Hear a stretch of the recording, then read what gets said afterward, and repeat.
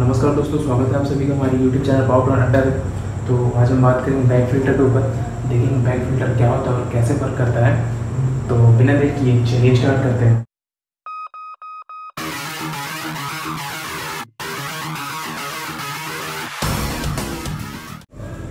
तो देखते हैं कि जो हमारा बैक फ़िल्टर होता है, क्या होता है। तो इधर देख सकते हैं कि जनरली जो बैक फ़िल्टर होता है bag filter is air pollution controlling equipment and dust collector क्या होता है? बैक फ़िल्टर जनरली हमारा एक एयर एयर पोल्यूशन कंट्रोल करने का इक्विपमेंट होता है और डस्ट कलेक्टर भी होता है ओके तो जनरली जो हमारा फ्लू गैस होता है फ्लू गैस से डस्ट को सेपरेट भी करता है हमारा बैक फ़िल्टर ओके तो इसमें क्या होता है कि जो हमारा डस्ट वाला फ्लू गैस होता है ना, इधर जैसे आप देख सकते हैं डायग्राम में, जो हमारा डस्ट वाला फ्लू गैस है ये हमारा एक मतलब बैक फ़िल्टर इसी सिलेंडर में इसी इसी शेप में होता है। तो जो हमारा डस्ट वाला फ्लू गैस है वो इसके बाहरी साइड से एंटर होता है, ठीक है इसमें?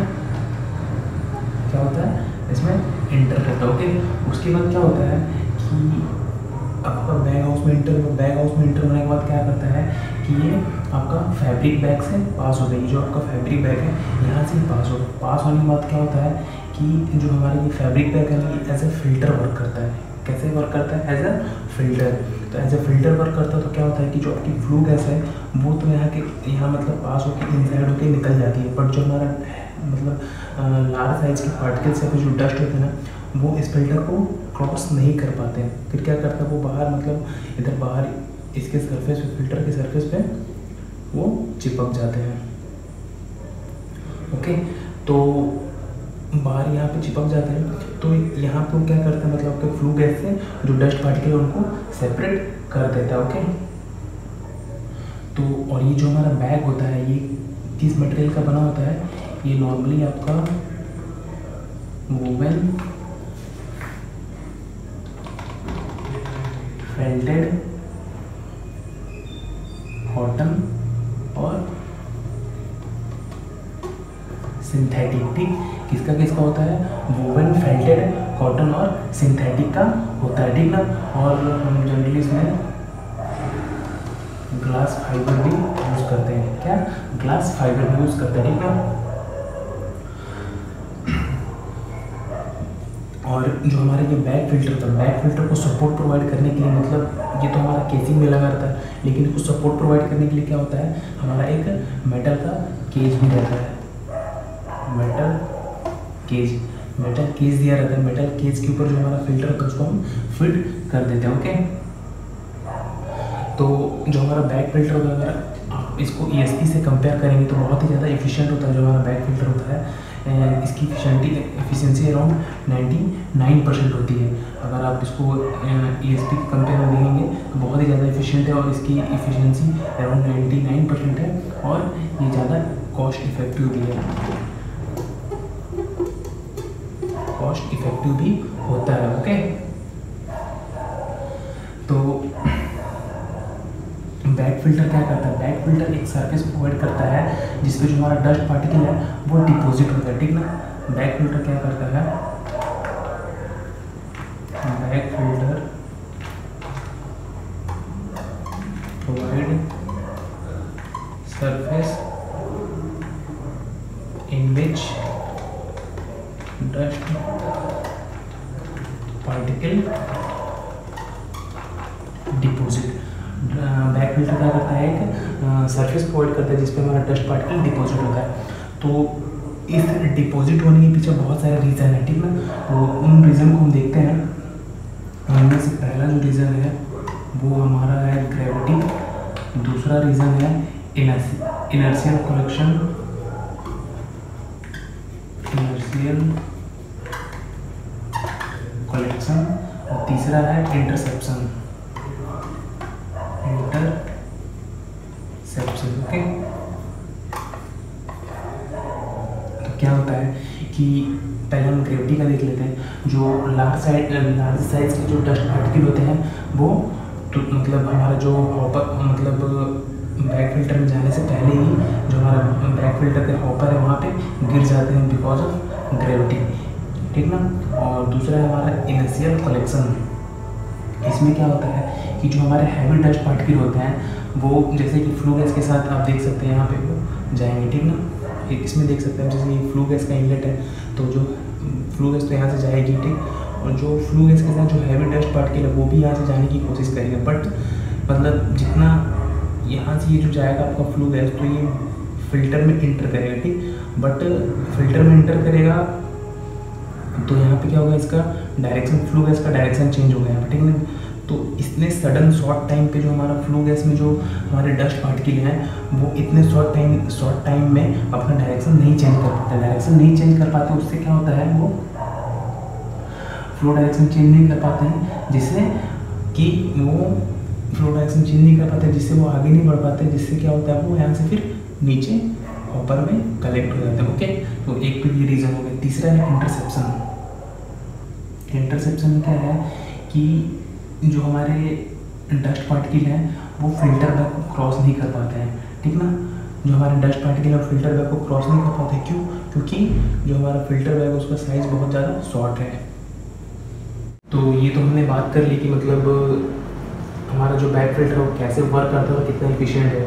बट इसमें एक दिक्कत तब आती है कि जैसे कि हमने देखा कि जो हमारा फ्लू गैस है, फ्लू गैस वो बैक फ़िल्टर से होकर निकल जाता है, लेकिन जो हैवी डस्ट पार्टिकल है, वो नीचे गिर जाता है और कुछ डस्ट डस्ट पार्टिकल्स हमारे बैक फ़िल्टर पे कलेक्ट हो जाता है, ठीक है? बैक फ़िल्टर पे ऐसे कलेक्ट हो जाता है, ठीक?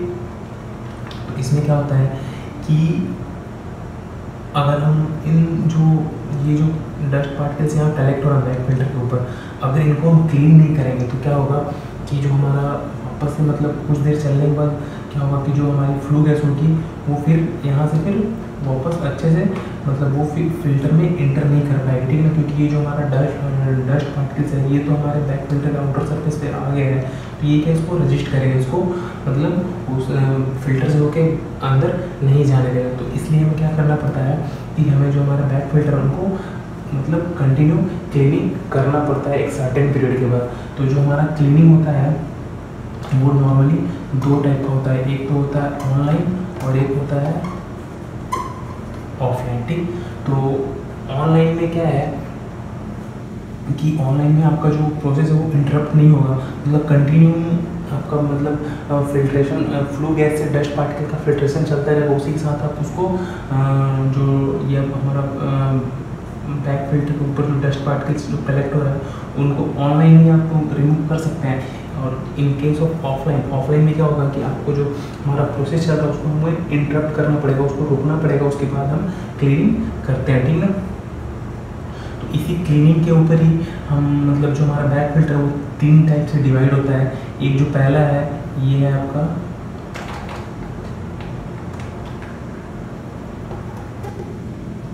मैकेनिकल सेकर और दूसरा है आपका रिवर्स एयर और तीसरा आपका पल्स जेट ठीक? तो कितने टाइप के होते हैं हमारे? एक तो आपका मैकेनिकल सेकर दूसरा है रिवर्स है, तीसरा है पल्स जेट ओके तो मैकेनिकल सेकर में क्या होता है कि मैकेनिकल सेकर हमारा ऑफलाइन क्लीनिंग वाला प्रोसेस है। इसमें क्या होता है कि जो भी हमारा बैक फ़िल्टर है बैक फ़िल्टर के ऊपर हमारा मतलब मैकेनिकल अरेंजमेंट लगा होता है, जो कि, जब भी हमारा मतलब एक सर्टेन पीरियड के बाद क्या होता है, जैसे हमारा डस्ट पार्टिकल्स कलेक्ट हुआ बैक फ़िल्टर के ऊपर तो हम इसमें मैकेनिकल सेकर लगा है इसकी हेल्प से हम उसको वाइब्रेट करवाते हैं, ठीक ना? जो हमारा बैक फ़िल्टर उसको वाइब्रेट करवाता है तो इससे वाइब्रेट करवाने से क्या होता है, जो भी हमारे डस्ट पार्टिकल्स हैं, वो यहाँ से फिर आपके हॉपर में नीचे आ जाते हैं ओके और जो हमारा रिवर्स एयर वाला मतलब टाइप्स है बैक फ़िल्टर का। इसमें क्या होता है कि जो हमारा जिस डायरेक्शन से हमारी फ्लू गैस फ्लो हो रही है, उसके रिवर्स डायरेक्शन हम क्या करते हैं? क्लीनिंग क्लीनिंग करने के लिए बैक वॉश एयर देते हैं, ठीक ना? तो इसमें क्या होता है कि आपका जो एयर दे रहे हैं हम एयर जो हमारी फ्लो होती है, वो इनसाइड मतलब बैक फ़िल्टर के इनसाइड से आउटसाइड फ्लो होती है और जो हमारी फ्लू गैस फ्लो होती है, वो कहाँ से? आउटसाइड से इनसाइड फ्लो होती है। और जो हमारी एयर आ रही है क्लीन करने के लिए, वो इनसाइड से आउटसाइड में फ्लो हो रही है, ठीक? तो इसमें क्या होता है कि जो हमारा फ्लू गैस बैक फ़िल्टर से होकर निकलेगा, ठीक? मतलब बैक फ़िल्टर के आउटर साइड से इन साइड में जाएगा, ठीक ना तो क्या करेगा? आपका जो डस्ट पार्टिकल्स है, वो इसके आउटर सरफेस पे कलेक्ट हो जाएगा, ठीक? बट जब आपका क्लीन एयर आएगा तो क्लीन एयर क्या, कहाँ से आ रहा है? आपका इनसाइड से आउटसाइड में आ रहा है, ठीक? तो इनसाइड से आउटसाइड में आएगा तो जो भी हमारा डस्ट पार्टिकल जमा हुआ उसके आउटर सर्फेस पे उसको वो गिरा देगा, ठीक है? उसको नीचे गिरा देगा ऊपर में, ठीक? सेम आपका जो हमारा पल्स जेट होता है पल्स जेट में भी ऐसा ही होता है। पल्स जेट में क्या रहता है? पल्स जेट जो हमारा सबसे इफिशियंट बैक फ़िल्टर मतलब वो होता है। मैक्सिमम जगह आपको पल्स जेट देखने को मिल जाएगा। मैक्सिमम प्लांट में पल्स जेट ही यूज़ होता है। तो इसमें क्या होता है कि और एक चीज़ और मैं बताना भूल गया, जो रिवर्स एयर मतलब रिवर्स एयर टाइप का है, इसमें ये भी हमारा ऑफलाइन मेथड ही ठीक है ऑफलाइन मतलब इसमें जो भी हमारा बैक फ़िल्टर को क्लीन करना होगा, उसको, उसके प्रोसेस को इंटरप्ट करना पड़ेगा ओके और जो हमारा पल्स जेट होता है पल्स जेट क्या होता है? हमारा ऑनलाइन क्लीनिंग मेथड होता है। इसमें हमारा जो प्रोसेस वो इंटरप्ट नहीं होता। इसलिए मोस्टली हमारा जो है पल्स जेट ही यूज़ किया जाता है ओके इसमें क्या होता है कि जो आपका फ्लू गैस है, इसमें भी आपका आउटर मतलब बाहर बाहर से अंदर की तरफ़ फ्लो होता है। मतलब बैक फ़िल्टर में बाहर से अंदर की तरफ़ फ्लो होता है और जो हमारे डस्ट पार्टिकल्स है, वो इसके आउटर सर्किट से कलेक्ट हो जाता है, ठीक है? और यहाँ से फिर आपका क्लीन गैस बाहर निकल जाता है। सेम आपका क्या होता है कि जो हमारी पर्जिंग एयर होती है पर्जिंग एयर हम बैक फ़िल्टर के अंदर देते हैं और ये क्या करता है कि जो भी हमारे बाहर डस्ट पार्टिकल्स कलेक्ट हैं, उनको ये वहाँ से नीचे गिरा देता है वो फिर आपका हॉपर से आके हॉपर में कलेक्ट होता है हॉपर में आके फिर वो आपका बेल्ट कन्वेयर या फिर जो भी आपका स्क्रू कन्वेयर लगा होता है, वहाँ से वो डिस्पोज करने के लिए चला जाता है ओके तो मोस्टली आप देख सकते हैं कहीं भी आपको ये पल्स जेट वाला मतलब पल्स जेट टाइप का बैक फ़िल्टर मिल जाएगा ओके तो एक चीज़ और इसमें होता है हमारा बैक फ़िल्टर में, क्या होता है वो? एयर टू क्लॉथ रेशियो ठीक? तो एयर टू क्लॉथ रेशियो क्या होता है? एयर टू क्लॉथ रेशियो होता है आपका volume of gas flow per unit area of the bag क्या होता है? Volume of gas flow per unit area of the bag ठीक ना? इसको हम क्या बोलते हैं? एयर टू क्लॉथ रेशियो ठीक ना? नॉर्मली जो हमारा एयर टू क्लॉथ रेशियो होता है, उसको हम 1.2 मेंटेन करते हैं, ठीक ना? इसका मतलब क्या है कि जितना हमें गैस का वॉल्यूम क्लीन करना है उसके लिए हमें उतना ज़्यादा आपका बैग का आ, मतलब बैग का एरिया उतना ज़्यादा लगेगा। क्योंकि हमें जितना मतलब मान लीजिए आपको लार्ज अमाउंट में large volume of gas flow मतलब बहुत ज़्यादा आपके पास लार्ज अमाउंट में गैस का वॉल्यूम है उसको अगर आपको क्लीन करना है तो जो हमारा बैक का बैक का एरिया है जो बैक फ़िल्टर का एरिया है वो भी हमें बड़ा चाहिए ठीक है? तो यही होता है हमारा एयर टू क्लॉथ रेशियो इसको हम कितना मेंटेन करते हैं? वन पॉइंट टू ओके और नॉर्मली एक जो हमारा बैक फ़िल्टर का परफॉर्मेंस होता है वो टेम्परेचर पर डिपेंड करता है ठीक ना? कि जो हमारा फ्लो गैस का टेम्परेचर है वो कितना है? तो देख लेते हैं कि जो हमारे फैब्रिक होते हैं कुछ आ, उन उनका मतलब कितने टेम्परेचर पे वो सस्टेन कर सकते हैं। तो इधर मैं लिख देता हूँ। फैब्रिक और टेम्परेचर तो फैब्रिक में आपका जो कॉटन का फैब्रिक होता है, उसका टेम्परेचर होता है वन एट्टी डिग्री से और जो आपका नाइलॉन होता है नाइलॉन होता है आपका टू हंड्रेड डिग्री से और बैकग्राउंड बैकग्राउंड जो होता है वो आपका टू सेवेंटी फाइव होता है और एक नॉमेक्स होता है।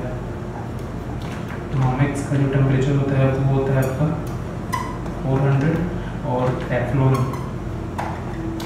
टेफ्लॉन भी आपका फोर हंड्रेड डिग्री ही सस्टेन कर सकता है। और जो ग्लास फाइबर होता है वो पाँच सौ डिग्री सी ओके तो ये हमारे फैब्रिक हैं कॉटन नाइलॉन डेक्रॉन मैमेक्स टेफ्रॉन और ग्लास तो इनके जो टेम्परेचर मतलब अगर ये आपका फैब्रिक है तो उस टाइम पे आपका मतलब जो फ्लू गैस का टेम्परेचर वो कितना होना चाहिए? कॉटन रहेगा कॉटन का अगर आपका फैब्रिक है तो आपको 180 डिग्री से ये नायलॉन का रहेगा तो आपको 200 डिग्री से ये डेक्रॉन रहेगा तो 275 नोमेक्स रहेगा तो 400 टेफ्लॉन रहेगा तो 400 और ग्लास रहेगा तो 500 ओके और अगर आपको मतलब सेलेक्ट करना है फैब्रिक तो मतलब सूटेबल फैब्रिक सेलेक्ट करने के लिए कुछ फैक्टर होते हैं, उसको, उस मतलब क्या क्या फैक्टर होते हैं तो एक तो पहला होता है आपका फ्लू गैस का temperature flue gas temperature okay और दूसरा होता है moisture level moisture level okay और तीसरा होता है particulate size particulate size okay और थर्ड होता है आपको फोर्थ होता है आपका air to cloth ratio okay तो ये था दोस्तों आज का वीडियो जिसमें हमने बात किया आपका बैंक फ़िल्टर के बारे में। तो वीडियो कैसा लगा ज़रूर बताएँ वीडियो को लाइक करें चैनल को सब्सक्राइब करें और अपने दोस्तों के साथ ज़रूर शेयर करें।